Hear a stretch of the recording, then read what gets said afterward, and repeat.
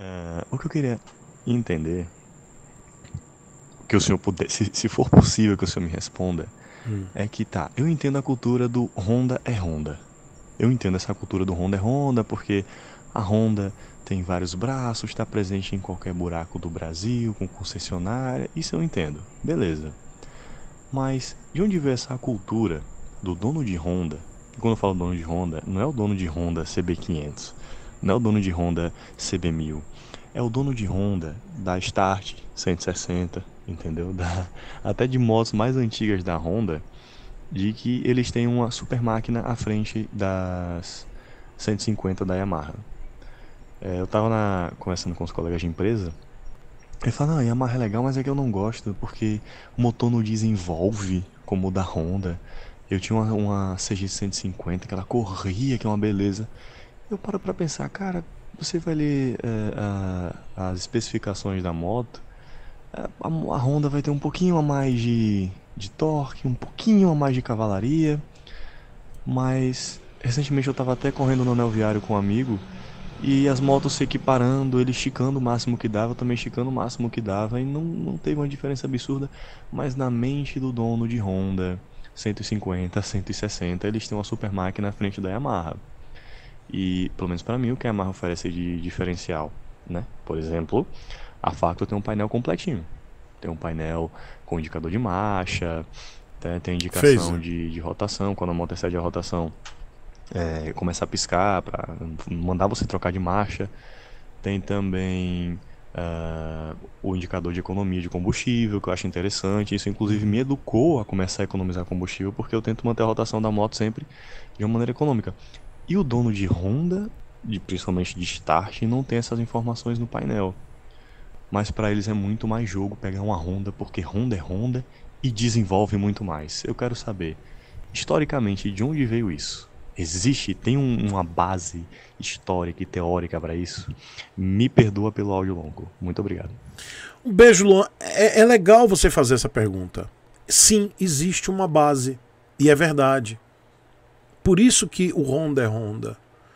E eu vou te dizer é, é, de uma forma. Não, não vou entrar na parte técnica de cavalaria, de torque, mas eu vou te dizer que as motos 150 da Honda elas sempre foram confiáveis. Desde a carburada, que é hiper confiável, e a 125, que foram as primeiras CGs. Então, quem tem, por exemplo, uma 125 varetada e usa no trabalho diário de motofretista, mototaxista, o que quer que seja, sabe que é uma moto extremamente durável, que aguenta o tranco mesmo, aguenta a paulada e principalmente as 2001, 2000, início, a primeira década de 2000. Então são motos extremamente duráveis. E aí vem, e aí vamos falar de lá do início da Honda no Brasil nos anos 70, com a CG Bolinha.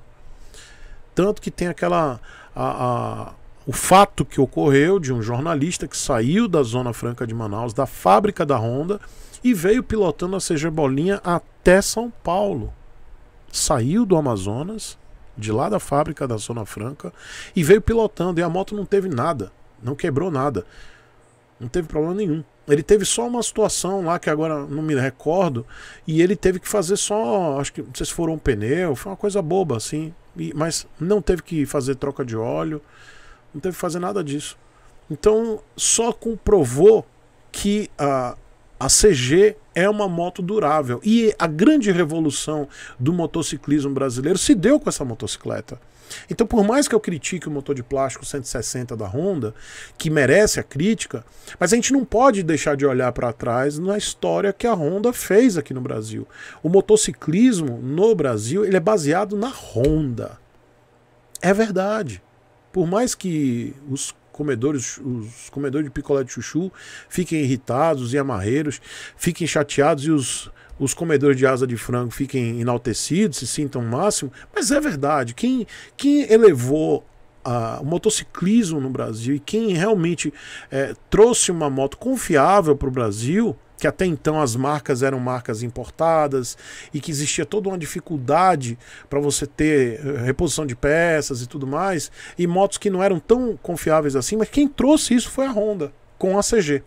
Então, daí que vem, lá dos anos 70, é, 75, 76, que vem a, a, a história do Honda é Honda. E aí a Honda ela se espalha pelo Brasil, como você vê e, e você já falou, e eu repito aqui sempre, em, nos rincões do Brasil você acha qualquer loja Honda e tem peça.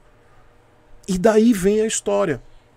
E isso é, se deu até a segunda metade da. a primeira metade da segunda década de 2000. E aí, quando vem esse motor 160, aí acabou. Quando entra o motor 160, que a, a durabilidade do motor ele cai pela mais do que a metade. A moto deixa de ser confiável, a, a Honda visa mais a lucratividade em girar peças. A, a moto ela deixa de ser aquela referência. E aí dá espaço a uma marca que sempre teve motos duráveis, que até então é, não, é, não tinha o holofote, porque a gente sempre soube que motos Yamaha são motos duráveis, mas a Yamaha ela não está presente em todos os lugares no Brasil e, e até um certo ponto da depois de 2010, né, a Yamaha ela começou a mostrar. E aí quando a gente fala de peça original, porque a Honda ela tem uma base instalada muito grande. O que é base instalada? São os consumidores. Quantidade de pessoas que comprou essas motos. Isso é chamado base instalada. E essa base instalada é que faz a diferença nas motos Honda. Porque com tanta gente com moto Honda, com a base instalada, que a gente chama base instalada também a mesma coisa dos videogames. É isso que faz com que um Xbox, um PlayStation venda bastante e que até haja subsídio no preço dos, dos videogames, porque já existe uma base instalada grande. Faz com que software houses, as empresas que fazem desenvolvem jogos, façam jogos para essas duas plataformas. Então a gente trazendo para o motociclismo, por que, que na Honda a gente tem uma, uma, uma grande quantidade de empresas fazendo peças paralelas. Lembrando, paralelo não quer dizer baixa qualidade, paralelo que não é original. Por que, que nós temos muitas empresas fazendo peças paralelas para as motos Honda, CG? Porque a base instalada da, da Honda é gigantesca. A Honda detém de mais de 80% do mercado. Então, essa base instalada faz com que a Honda ela seja infinitamente mais interessante para essas marcas desenvolverem peças paralelas. E aí vem mais uma, um conceito que Honda é Honda porque você acha peça em qualquer lugar, inclusive na padaria. Então vem mais uma dessa. E aí quando a Honda ela deixa de produzir uma moto interessante na, na primeira metade da segunda década de 2000, a Yamaha vem começa a emparelhar os preços de peças originais Hoje não tem mais essa questão de que peça Yamaha é mais cara do que Honda. Quando você vai na concessionária Yamaha, olha a peça original e vai na concessionária Honda, Honda e Yamaha, é a mesma coisa. E a Yamaha ela começou a oferecer motos que já eram duráveis, mas muito mais duráveis com itens mais interessantes do que a Honda.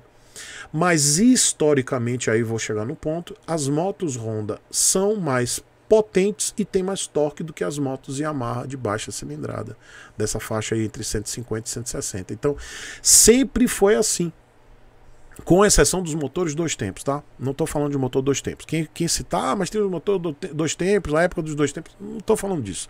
Estou falando de motores quatro tempos, que para Yamaha começou a partir dos anos 90 aqui no Brasil, tá? Final dos anos 90, na realidade, início dos anos 2000. Então tem pouco tempo. Uh, e aí, para finalizar, motos Honda sempre tiveram mais torque, mais cavalaria nessa faixa de cilindrada de 150 a 160. Sim, é verdade. Então toda essa história de que moto Honda é mais forte do que moto Yamaha é verdade. Se você tomar como base o motor 160, que eu faço, a minha crítica ao motor 160 é única e exclusivamente somente pela durabilidade do motor. Pela baixa qualidade de construção desse motor, que faz com que ele dure pouco. Se você prestar atenção entre o motor Honda e motor é, Yamaha, o motor Honda ele é mais, tem mais cavalaria, ele tem mais torque, ele é mais econômico do que o motor Yamaha. Por exemplo, da Facto, da Phaser. É verdade. Então por isso que você tem uma base instalada, um monte de fanboy da Honda levantando e continuando com esse bordão Honda é Honda. Só que nos tempos de hoje, não dá mais para você falar que Honda é Honda com esse motor de plástico. Não dá, infelizmente não dá. Mas eu repito, a, o, o, motor de plástico da Honda ele tem maior cavalaria, maior torque, mais conforto. A, o conjunto da moto é mais confortável e a moto ela é muito econômica. Mas o que, que o brasileiro precisa hoje? Ele precisa de durabilidade. A gente não tem dinheiro. Não adianta você pagar 15 mil reais, que é muita grana, para uma moto que vai, você vai ter que fazer retífica a cada 60 mil quilômetros. E essa base instalada, que tem muitos fãs e muitas pessoas que ainda vivem lá nos anos 2000 até 2010, achando que acha peça em qualquer biboca, e que ainda assim vale a pena você fazer três retíficas de motor, enquanto com o Yamaha você só faz, você só na realidade, o motor Yamaha não faz retífica, tá? Você tem que trocar a peça. Mas enquanto um motor Yamaha dura 200 mil quilômetros, você faz três retíficas no motor Honda, ou mais, até quatro retíficas no motor Honda. Então, é real isso que você ouviu, tá? Não é, não é mentira, não é, não é não é uma fábula, é verdade. Mas infelizmente a Honda ela perdeu muito da qualidade da sua moto a partir desse motor 160 em relação à durabilidade. E essa aqui é uma singela homenagem e agradecimento a todos os apoiadores e membros deste que é o pior canal do YouTube. Pessoal, muito obrigado. O nome de todo mundo está aparecendo aqui agora e vai aparecer no final de todos os vídeos desse canal aqui. E se você gosta do conteúdo, quiser se tornar um membro ou apoiador, mas principalmente um apoiador, vai lá no apoia.se barra Chico Sepúlveda. E se você quiser se tornar um membro, toca aqui nesse botão embaixo, seja membro. Muito obrigado.